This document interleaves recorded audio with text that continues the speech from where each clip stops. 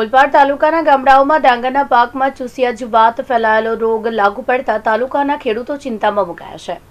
ડાંગરના પાકને રોગથી બચાવવા માટે ઓલપાડ તાલુકાના દીપાડી, ઝારખી દૂધ મંડળી દ્વારા ખેડૂત શિબિરનું આયોજન કરવામાં આવ્યું હતું, જેમાં નવસારી કૃષિ યુનિવર્સિટીના વૈજ્ઞાનિકો દ્વારા ખેડૂતોને ડાંગર પાકની જાત અને રોગથી કેવી રીતે બચાવી શકાય તે અંગે માર્ગદર્શન આપ્યું હતું. આ શિબિરમાં ઓલપાડ તાલુકાના ખેડૂતો મોટી સંખ્યામાં ઉપસ્થિત રહ્યા હતા.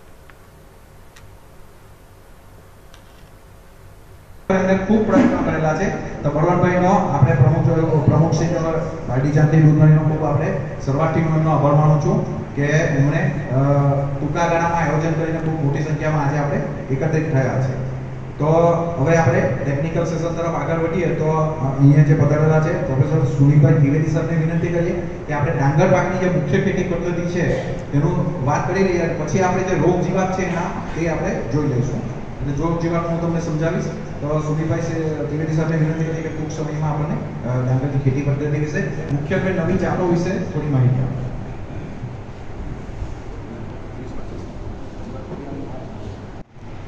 ખેડૂત શિબિરમાં આપણે ઉપસ્થિત નવસારી કૃષિ યુનિવર્સિટીના સુરત વિભાગના વૈજ્ઞાનિક ડૉક્ટર રાકેશભાઈ કે પટેલ તથા સહવૈજ્ઞાનિક પ્રોફેસર સુનિલજી ત્રિવેદી તથા હવામાન વિભાગના નિષ્ણાંત અભિનવ પટેલ તથા તેમની ટીમ આપણી મંડળના ઉપપ્રમુખ શ્રી જિગ્નેશભાઈ, માજી મેનેજર શ્રી અમૃતભાઈ ગામ સેવક શ્રી શૈલેષભાઈ મંદિરના મેનેજર શ્રી ધનસુખભાઈ મારા બોર્ડ ડિરેક્ટર શ્રી યોગેશભાઈ તથા તથા સૌથી અગત્યના આપ સૌ સભાસદ મિત્રો અને કર્મચારી મિત્રો. મિત્રો, ખેડૂતની પરિસ્થિતિ આ દુનિયામાં બહુ અનિશ્ચિત છે.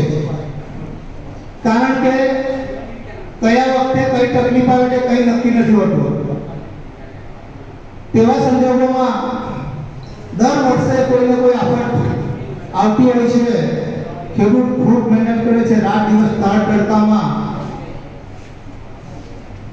અતિશય મહેનત કરીને એનો પાક ઉત્પાદિત કરવા માટે તૈયાર કરે છે. દિવસે દિવસે તકલીફોમાં વધારો થયો તો તેને બદલે એક નવી તકલીફ આવી છે દુષ્કર્મનો ત્રાસ. એટલે ખેડૂતોએ જેમ બને તેમ વધુ સ્ટ્રગલ કરવાની આવે છે. આવે તો ખેડૂતોને ખેત પેદાશના ભાવ પણ બરોબર મળતા નથી. આ દુનિયામાં ખેડૂત જે એક છે કે તે પોતાની પેદાશનો ભાવ નક્કી નથી કરી શકતો. બાકી બીજા કોઈ પણ ક્ષેત્રમાં જુઓ તમે, તો દરેક વ્યક્તિ પોતાની ઉત્પાદન દરેક માલ સામાનનો ભાવ નક્કી કરતો હોય છે તેનાથી નીચેમાં વેચતા ન હોય. જ્યારે ખેડૂતની પરિસ્થિતિ એવી છે કે બજાર ભાવમાં ભાવ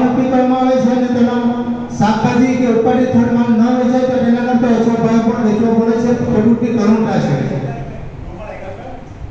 આકાશ ભગવાન ને વાતાવરણ પણ આધાર આપવો પડે છે. તેમાં ખેડૂતને દિવસે દિવસે ખૂબ તકલીફો વધી રહી છે.